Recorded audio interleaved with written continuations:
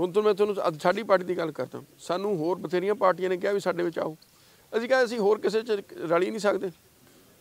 ਸਾਨੂੰ ਆਮ ਆਦਮੀ ਪਾਰਟੀ ਨੇ ਵੀ ਆਫਰ ਦਿੱਤੀ ਪਿਛਲੀਆਂ ਚੋਣਾਂ 'ਚ ਵੀ ਤੁਸੀਂ ਤੁਹਾਨੂੰ ਇੰਨੀਆਂ ਸੀਟ- ਟਿਕਟਾਂ ਦੇ ਦਿੰਦੇ ਆ।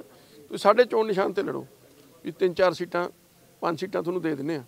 ਅਸੀਂ ਕਿਹਾ ਨਹੀਂ, ਅਸੀਂ ਨਿਸ਼ਾਨ ਤਾਂ ਫਿਰ ਅਸੀਂ ਤੁਹਾਡੇ ਵਿੱਚ ਰਲ ਗਏ। ਅਸੀਂ ਇੱਕ ਸਿਧਾਂਤਕ ਤੌਰ ਤੇ ਅਕਾਲੀ ਆ। ਅਸੀਂ ਕਿਸੇ ਹੋਰ ਪਾਸੇ ਨਹੀਂ ਜਾ ਸਕਦੇ। ਕਿਸੇ ਹੋਰ ਪਾਰਟੀ 'ਚ ਸਾਡਾ ਮਤਲਬ ਹੀ ਨਹੀਂ। ਸਾਡੀ ਆਪਦੀ ਪਾਰਟੀ 'ਚ ਨਾਰਾਜ਼ਗੀਆਂ ਠੀਕ ਆ ਅਸੀਂ ਤਾਂ ਅੱਡ ਹੈ ਪਰ ਇਸ ਕਰਕੇ ਅੱਜ ਅਸੀਂ ਸ਼ਾਮਲ ਹੋਏ ਤਾਂ ਵੀ ਆਪਦੀ ਅਕਾਲੀ ਦਲ ਦੇ ਵਿੱਚ ਆਏ ਕਿਉਂਕਿ ਅਸੀਂ ਹੋਰ ਪਾਸੇ ਸੋਚ ਹੀ ਨਹੀਂ ਸਕਦੇ।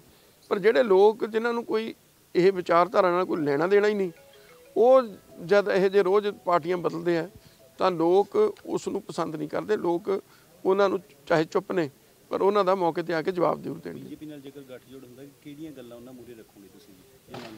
ਦੇਖੋ ਉਹ ਤਾਂ ਲੀਡਰਸ਼ਿਪ ਕਰੂਗੀ ਮੈਂ ਤਾਂ ਕੋਈ ਐਸੀ ਨਹੀਂ ਪਰ ਪੰਜਾਬ ਦੇ ਇਸ਼ੂ ਸਾਰੇ ਹੀ ਰੱਖੂਗੇ ਅਕਾਲੀ ਦਲ। ਕਿਸਾਨੀ ਦੇ ਨੇ ਸਿੱਖਾਂ ਦੇ ਨੇ ਸਾਡੇ ਬੰਦੀ ਸਿੰਘਾਂ ਦਾ ਹੈ।